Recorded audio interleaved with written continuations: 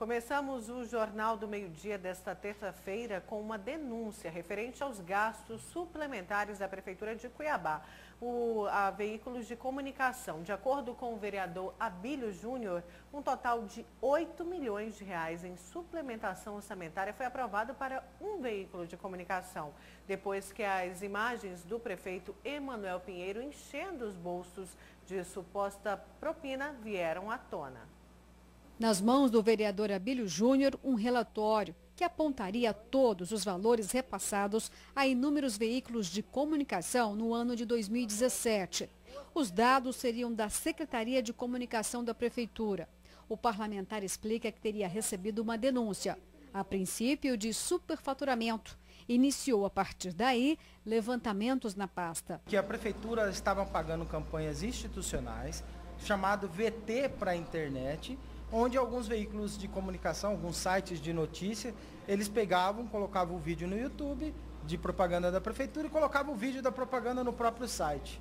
E aí a prefeitura pagava valores de 15 a 28 mil reais para VT na internet, veiculando como se fosse VT em televisão. Porém, esses vídeos a pessoa tinha que clicar no vídeo para assistir. E aí quando eu cliquei para verificar o número de visualizações, tinha 14 visualizações. Aí eu suspeitei.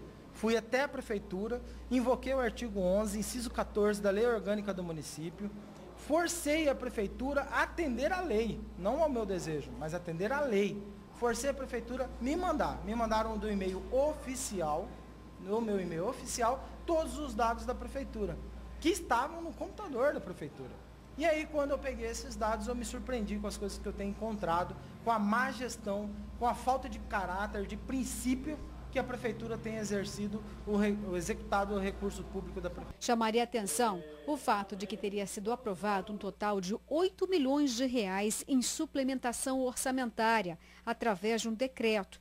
E apenas para um veículo de comunicação, o repasse mensal de aproximadamente 8 mil reais saltou para 50 mil. Os valores a mais ocorreram um mês depois das imagens que exibem o prefeito Emanuel Pinheiro enchendo os bolsos no paletó de dinheiro em praticamente todos os veículos do país. Será que a prefeitura não estava pagando a extorsão de jornalistas?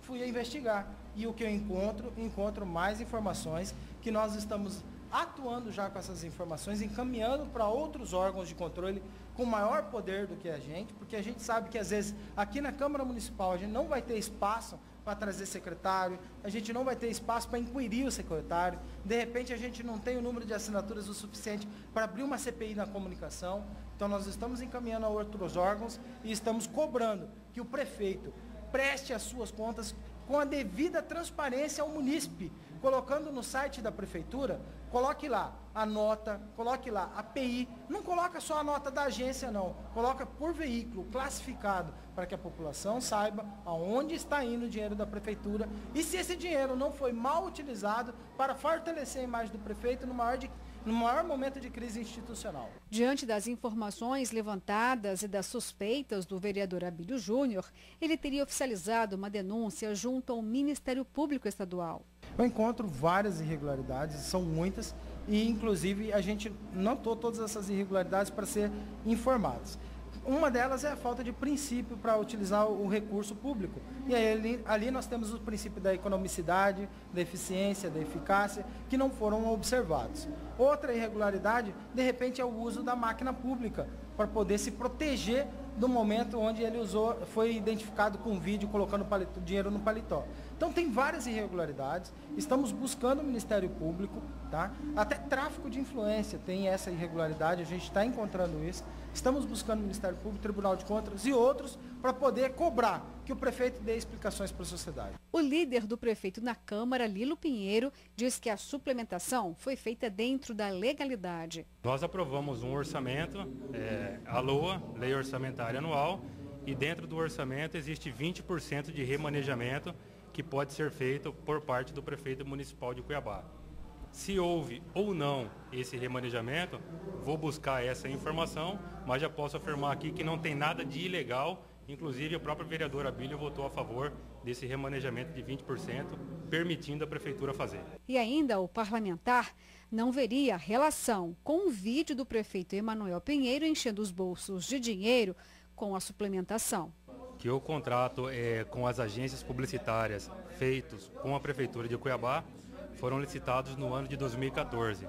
Então, as agências publicitárias é que são responsáveis por fazer a veiculação é, de pagamento junto aos veículos de comunicação.